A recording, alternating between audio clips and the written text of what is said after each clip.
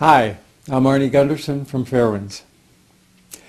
I've been thinking a lot lately about what happened in the first day of the nuclear accident at Fukushima. And I think I've come up with some interesting information that I wanted to share with you. The, the facility at, at, at Fukushima was one of the largest nuclear reactors in the world. And I'm sure you've seen the, the videos of it when, uh, when it was functioning, and it's truly an impressive um, facility. Well, everyone has also seen the, uh, the, the, pictures of the facility after the explosions. And in that period of a couple days, it went from a several billion dollar asset to a hundreds of billion dollar liability and I believe it's the uh, single biggest industrial accident in the history of the world. But I wanted to focus on what happened after the tsunami, but before the explosions. And I think there's some important information that can be gleaned from the historical record. I need to go back and, and talk a little bit about um, uh, nuclear fundamentals for a minute here, though. The nuclear reactor sits inside a nuclear containment. Now the containment is, um, uh, we've shown before, and, and the one that's uh, on the screen now is the um, Browns Ferry nuclear reactor. The top of that containment has a lid on it, and it's connected by many, many bolts. So now I'm going to use a, a tea infuser here to explain it another way.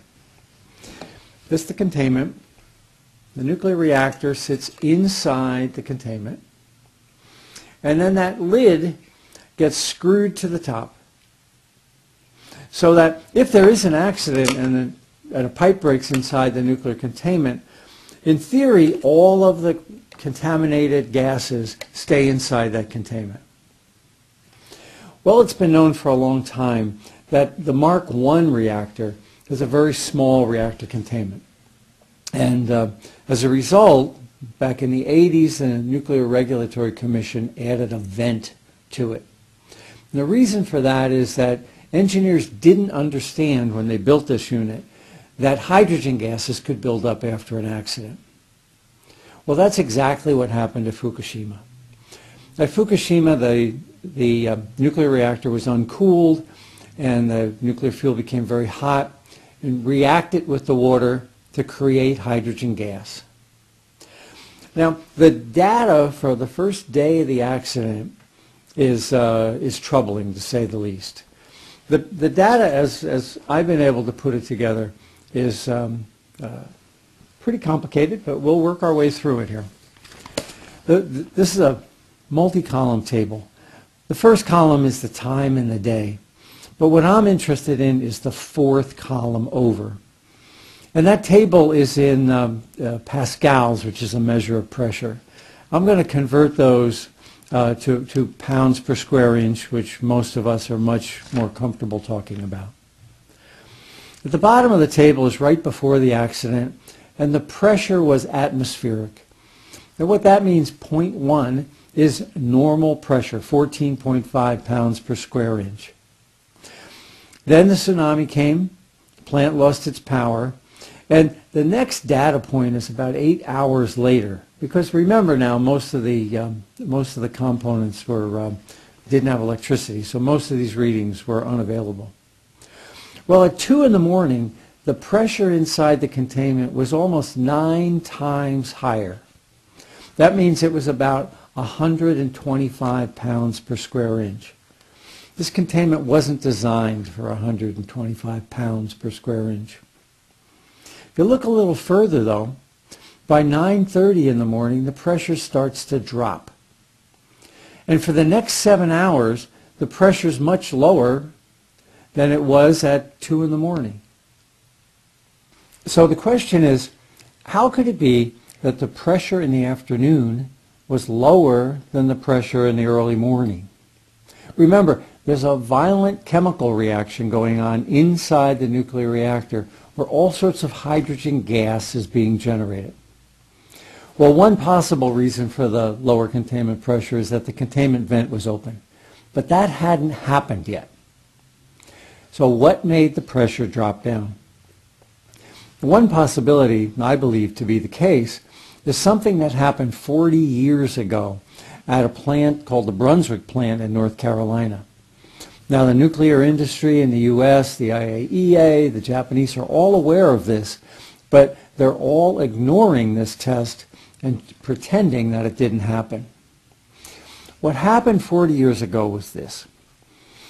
When a containment was, was pressurized, it was pressurized to just about 100 pounds, and then something really strange and unexpected happened. The top, the head of the containment, began to lift off of the bottom of the containment. Getting back to my, my uh, mug here, what happened was that the bolts that hold the top to the bottom began to stretch. And the top lifted and allowed the gases to slide out. That held the pressure in here at 100 pounds, even though gases were being pumped in. Now, this was not an accident. This was pressurized with normal air. It was a test. But the containment at Brunswick began to leak at around 100 pounds per square inch. Let's look at that table again from Fukushima. Where did Fukushima settle out at? Just about 100 pounds per square inch.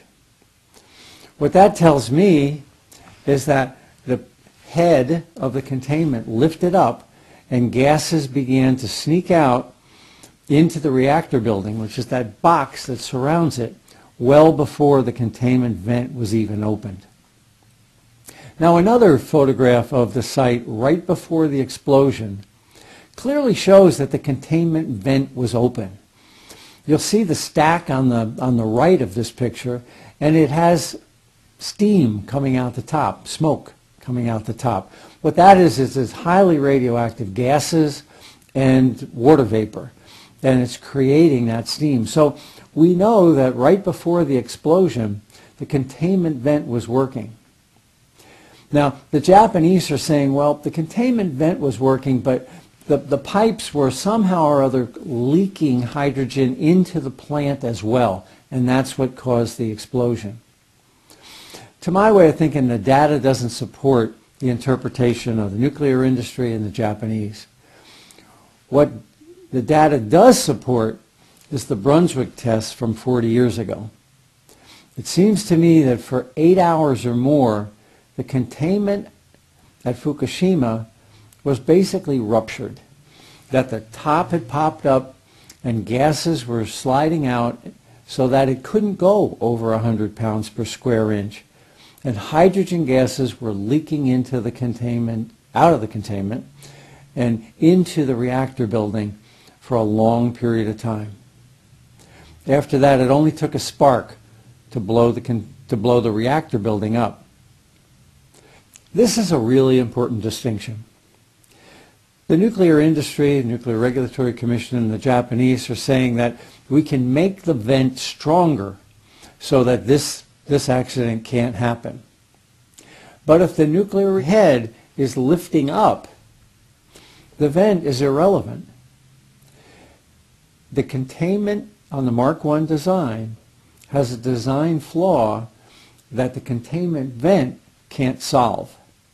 Whether or not the nuclear reactor containment at Fukushima maintained its integrity is a critical question to the operating fleet of BWR reactors throughout the world. I'll be working on some more information over the next week and we'll have another video up shortly. Thank you very much. I'll keep you informed.